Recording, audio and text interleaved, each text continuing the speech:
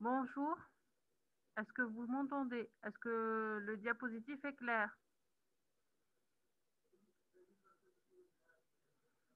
Bonjour. Envoyez-moi un message, s'il vous plaît.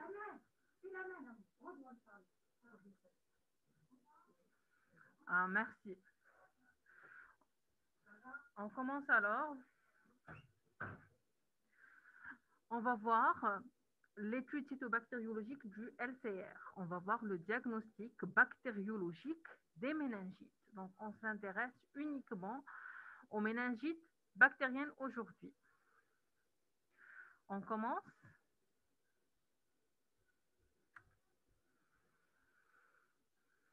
Alors,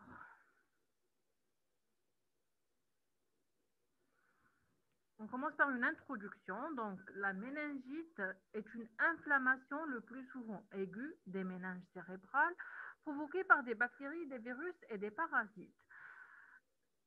C'est une urgence médicale au cours de laquelle le pronostic vital et fonctionnel sont engagés. Donc, euh, la cause de l'ouverture du laboratoire microbio dans la garde, c'est bien pour recevoir les prélèvements LCR. Donc, c'est une urgence médicale.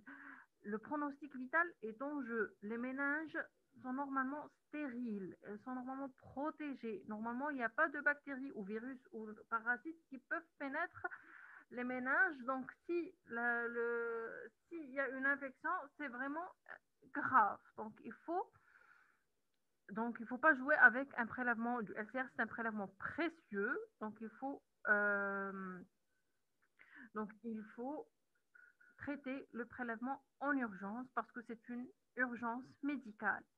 Donc, le rôle du laboratoire est primordial, aussi bien dans le diagnostic. Donc, le diagnostic, c'est pour définir quelle euh, la cause. Euh, est-ce que d'abord, est-ce qu'il y a une méningite ou pas?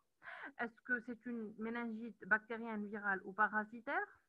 Pour la conduite thérapeutique, c'est d'abord l'examen direct permet d'abord un, traitement probabiliste parce qu'on ne peut pas laisser le malade sans traitement jusqu'à l'obtention des résultats qui peuvent durer jusqu'à trois jours ou plus.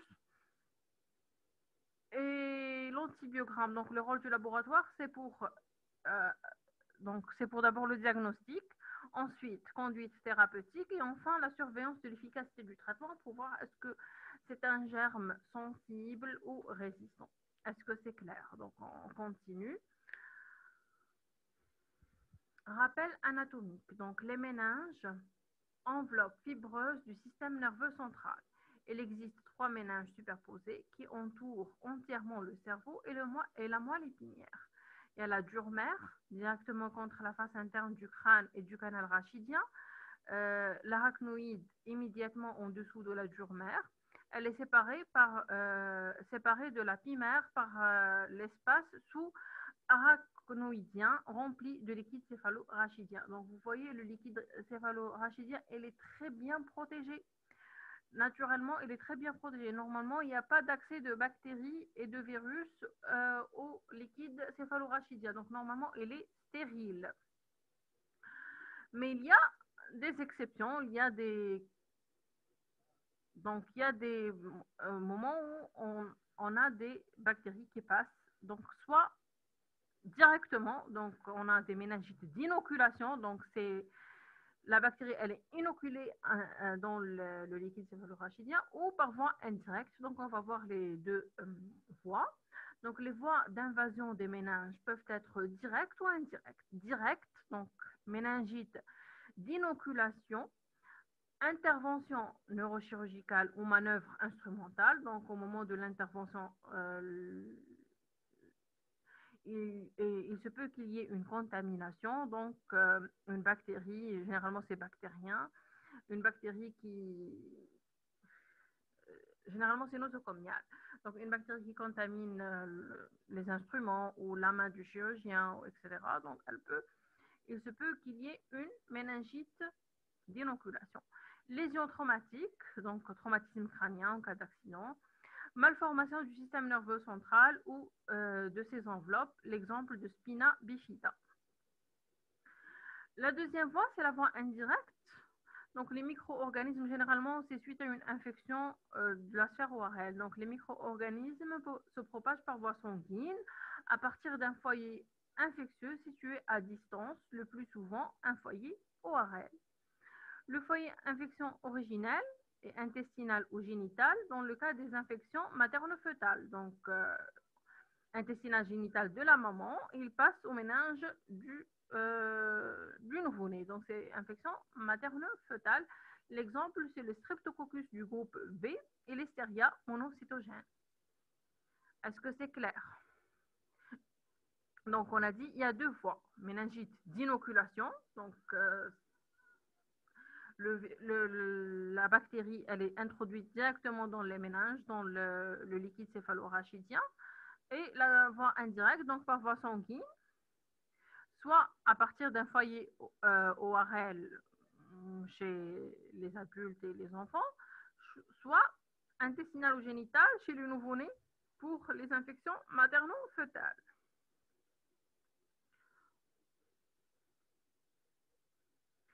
En cause. Donc, les méningites purulentes. Donc, euh, selon l'aspect du LCR, on a des méningites purulentes et des méningites à liquide clair. Les méningites purulentes, généralement, généralement c'est bactérien. Et les méningites à liquide clair, c'est viral. Mais les exceptions existent. Il y a des méningites euh, à liquide clair, mais bactériennes. Et euh, ça diffère aussi selon euh, le moment du prélèvement. Donc, si le prélèvement est fait euh, précocement, on peut, avoir un euh, on peut avoir un liquide clair et avoir une bactérie. Donc, le, donc, les exceptions existent, mais généralement, une méningite purulente, donc méningite LCR purulent, donc c'est bactérien. Mais, il y a toujours des exceptions, il faut faire attention. Les méningites purulentes chez l'adulte, nous avons le Neisseria meningitidis, du groupe A, B et C, l'hémophilus influenzae de type B et Streptococcus pneumoniae, donc Neisseria meningitidis. Vous avez, normalement, vous avez fait le cours de Neisseria, hémophilus et streptopneumonie. Euh, je ne vais pas revenir au caractère bactériologique. Donc, Neisseria vous avez c'est des cocci à grammes négatifs en grains de café. Euh, le diagnostic, vous avez fait le cours de la systématique bactérienne. On ne veut pas revenir sur ça. Aujourd'hui, on s'intéresse à la conduite à tenir devant un LCR. Lorsqu'on reçoit un LCR, qu'est-ce qu'il faut faire? Euh, Pour les méningites néonatales, nous avons le streptocoque bêta-hémolytique du groupe B, l'Listeria monocytogenes et Escherichia coli. Donc, Escherichia coli, la souche capsulée K1 généralement. Les méningites d'inoculation, donc ça peut être tout et n'importe quoi, Staphylococcus aureus, donc les germes, euh, les germes d'infection nosocomiale, Staphylococcus aureus, les entérobactéries, le Pseudomonas aeruginosa et la cyanidobactère, donc les germes d'infection nosocomiale. C'est les méningites d'inoculation. Est-ce que c'est clair? J'espère que c'est clair.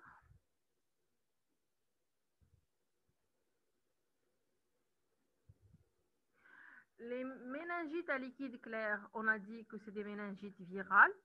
Plusieurs virus peuvent causer des méningites, comme l'entérovirus, myxovirus, rougeole, grippe, herpès. Donc, c'est les virus qui euh, causent une infection ORL généralement ou infection respiratoire. Il y a les exceptions, c'est les méningites tuberculeuses peuvent avoir des. Euh, l'agent de la tuberculose, bien que c'est une bactérie, mais cause des méningites à liquide clair. Donc, il faut faire attention.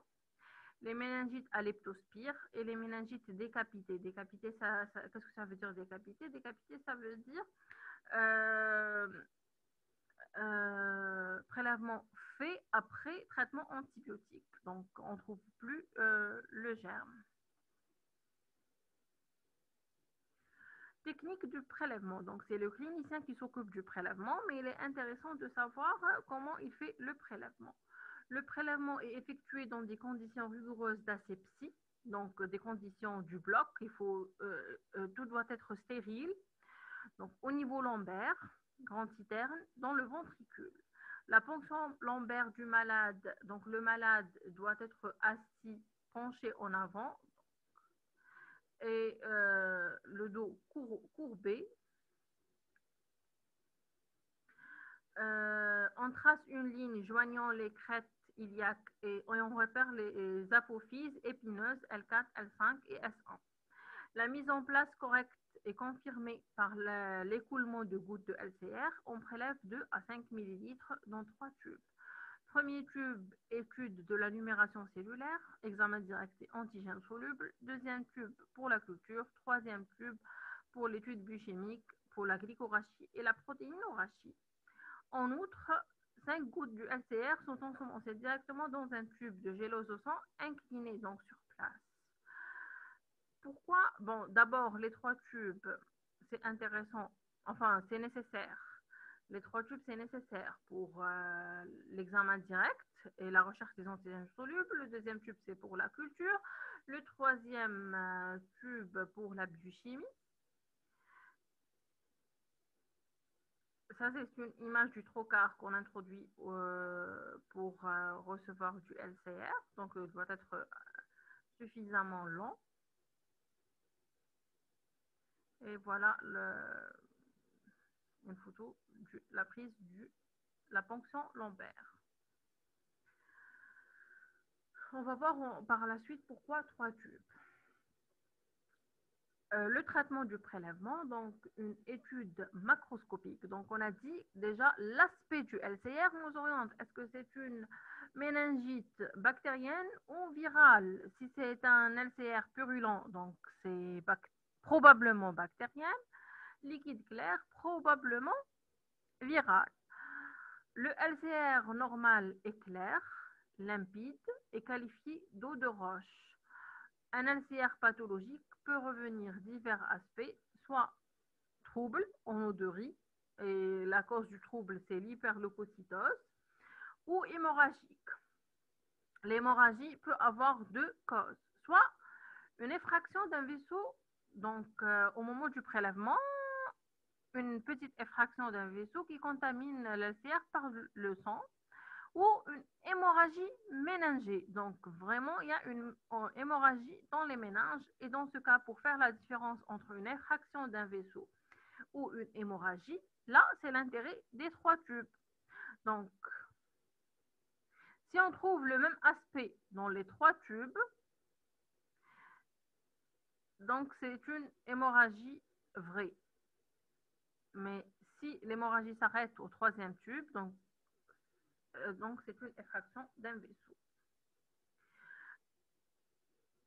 Euh, le troisième aspect, c'est l'aspect xanthochromique, qui est une teinte jaune. Et généralement, la cause, c'est la compression médulaire. Donc, voilà la technique des trois tubes.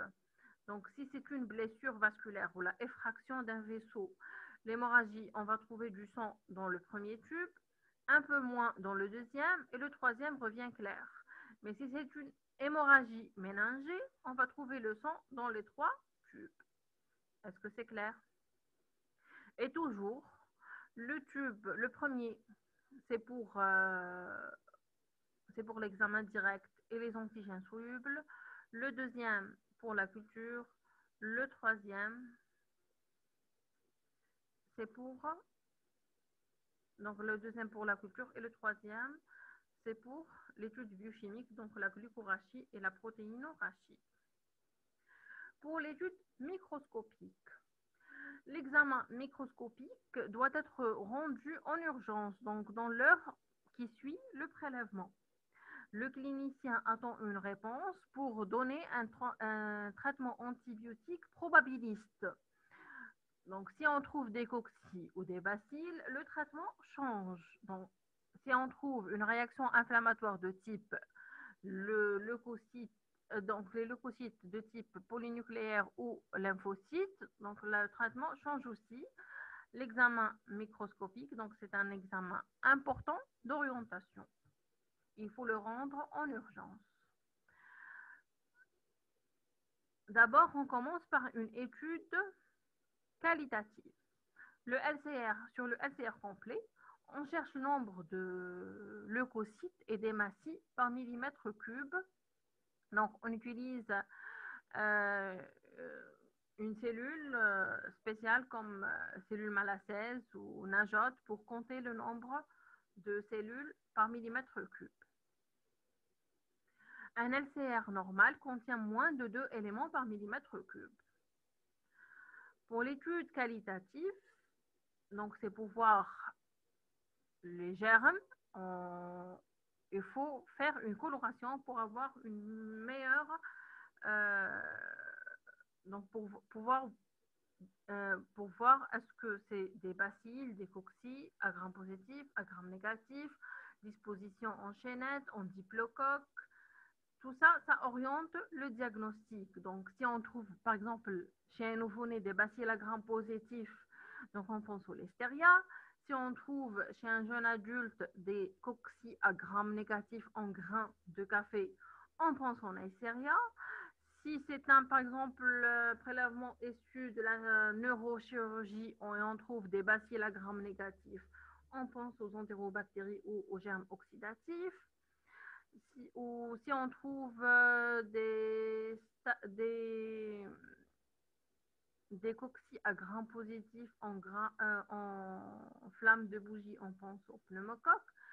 Donc, ça diffère euh, donc l'orientation, donc l'examen microscopique, c'est un examen d'orientation. On ne pose pas le diagnostic. On ne peut pas dire que c'est une méningite à méningocoque euh, d'après l'examen microscopique. Donc il faut attendre la culture.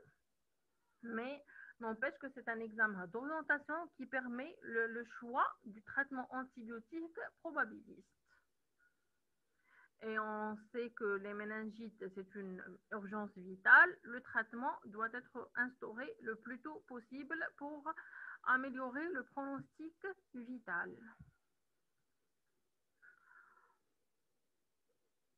Donc la coloration euh, euh, au bleu de méthylène est possible aussi, mais, pour, mais dans ce cas, on ne peut pas avoir euh, le gramme, donc mais on apprécie mieux la réponse inflammatoire, est-ce qu'elle est leucocytaire ou lymphocytaire?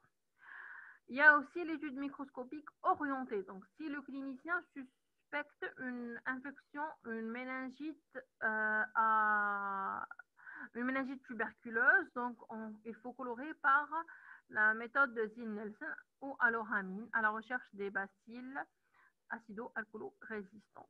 Pour les leptospires, la même chose, si le clinicien suspecte une leptospirose, donc on cherche euh, par microscopie à fond noir.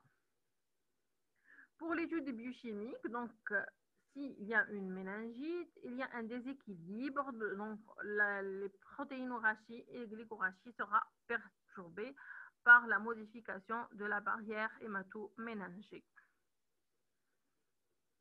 J'espère que c'est clair.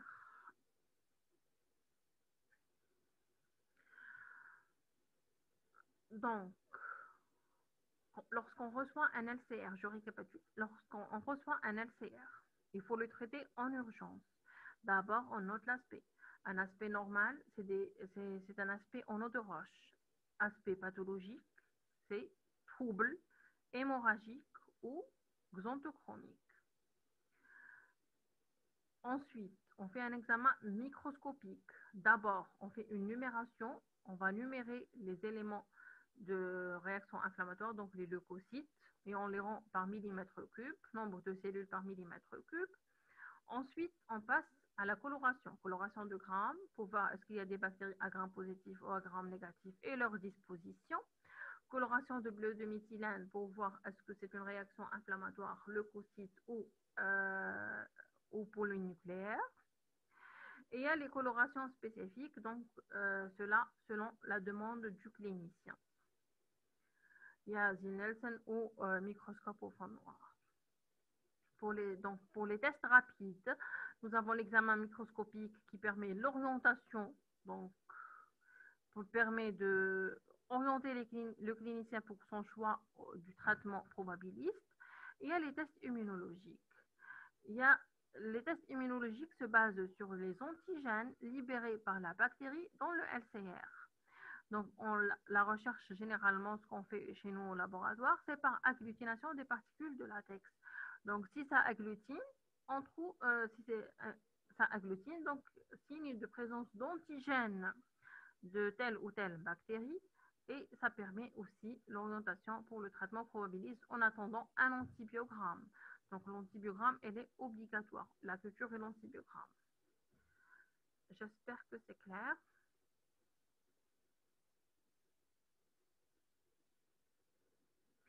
Donc, la culture reste obligatoire, donc c'est le diagnostic de certitude. De, ça permet d'abord euh, d'identifier le germe et euh, permet de, euh, de faire un antibiogramme et détecter d'éventuelles résistances aux antibiotiques. Donc, deux situations selon les résultats de l'examen microscopique. Donc, la mise de culture systématique les ensemencements des prélèvements au laboratoire seront faits sur milieu gélose au sang à 35 degrés Celsius pendant 48 heures en aérobiose et gélose au sang additionné au polyvitex. Pourquoi additionner au polyvitex À la recherche de Neisseria meningitis, qui est un germe assez euh, exigeant. Les mises en culture orientées, donc on ne le fait pas systématiquement, donc euh, selon la demande du clinicien. Donc, si le clinicien suspecte une méningite tuberculeuse, on doit ensemencer le HCR sur euh, les milieux euh, Lovenstein-Johnson. S'il y a un abcès du cerveau, par exemple, il faut utiliser des milieux Columbia au sang en anaérobiose parce que l'abcès du cerveau, il y a l'étiologie, généralement c'est les anaérobies, entre autres et la présence de leptospire mise en évidence par culture sur milieu de stewart enrichi au sang à température de 28 degrés. Et les champignons, la recherche se fait sur milieu savoureux. Donc systématiquement, donc lorsqu'on reçoit un LCR, on l'ensemence sur sang. Ça c'est obligatoire. Et sang additionné de polyvitex. Mais si on a une demande du clinicien ou une fiche de renseignement où c'est mentionné suspicion du tuberculose, on doit additionner le Lovenstein-Janssen, donc euh, spécifique pour les, mycobactéries, ou s'il est mentionné abcès du cerveau, il faut additionner Columbia pour anaérobiose, et en anaérobiose, etc. Donc, systématiquement, c'est chez le sang mais la mise en culture orientée, c'est à la demande du clinicien, donc selon la fiche de renseignement clinique, d'où l'importance de la fiche de renseignement clinique avec chaque prélèvement. Le lendemain de la culture, on va obtenir des colonies et on va l'identifier par leur caractère morphologique, donc l'aspect des colonies, par caractères culturaux, donc les conditions de la culture, température de croissance, milieu sur lequel elle a poussé, pour les caractères biochimiques par une galerie biochimique, et les études euh, antigéniques, donc par agglutination aux particules de latex généralement. Donc tout ça, tout ce qui est euh, identification bactérienne, donc vous avez fait ça dans votre cours. J'espère que c'est clair. Après l'identification, on passe à la sensibilité aux antibiotiques. Donc, toute souche bactérienne isolée à partir du LCR doit faire l'objet systématiquement d'un antibiogramme et, au besoin, déterminer la CMI, la concentration minimale inhibitrice. Le choix des antibiotiques à tester, donc le choix des antibiotiques se repose non seulement sur euh, le, type de germe qu'on a isolé, en plus, si cet antibiotique passe la barrière hémato-encéphalique ou pas. Donc, et en plus, le traitement des méningites, l'antibiotique qu'on utilise doit être bactéricide et non pas bactériostatique. C'est une urgence euh, vitale. On n'a pas besoin, on ne veut pas arrêter la croissance bactérienne, on veut pas, on veut euh, éliminer le germe. D'accord? Donc, le choix des antibiotiques, non seulement le germe en cause, en plus, il doit passer la barrière hémato-encéphalique et euh, avoir une activité bactéricide. Donc, toute souche bactérienne isolée à partir du LCR doit faire l'objet systématiquement d'un antibiogramme et au besoin de déterminer la CNI. Le choix d'antibiotiques à tester est guidé par les recommandations de consortium de traitement des méningites. Le traitement des méningites doit répondre à une activité antibactérienne bactéricide de l'antibiotique, capacité de cet antibiotique à traverser la barrière hémato-méningée. J'espère que c'est clair.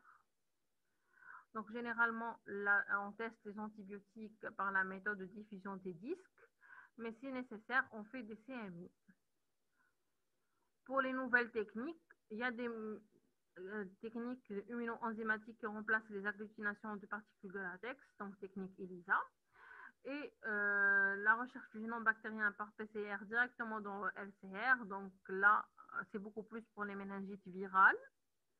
Et la chromatographie gazeuse. Est-ce que vous avez des questions? Est-ce que c'est clair? Donc, on conclut. L'examen cytobactériologique du LCR relève de l'urgence que le laboratoire doit traiter avec rigueur et rapidité.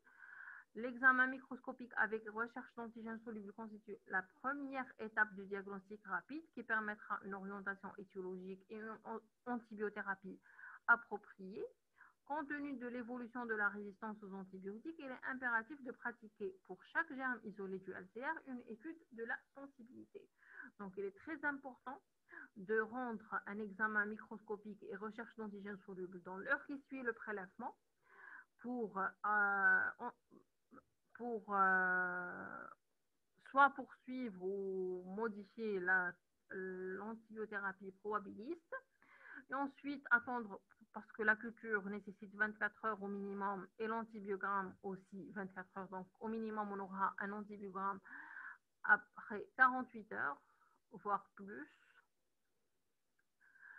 Euh, au bout de ces 48 heures, le patient ne peut pas rester sans traitement antibiotique et le, traitement sera euh, soit poursuivi, soit changé selon le résultat de l'antibiogramme. Il y a aussi un rôle, euh,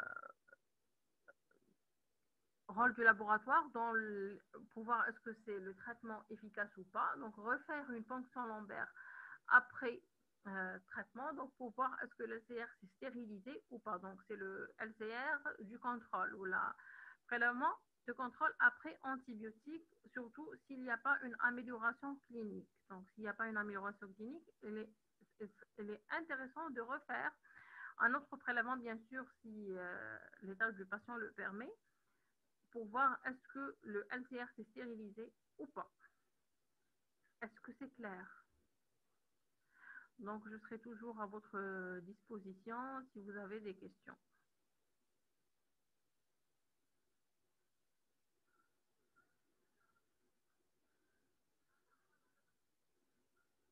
Merci pour votre attention.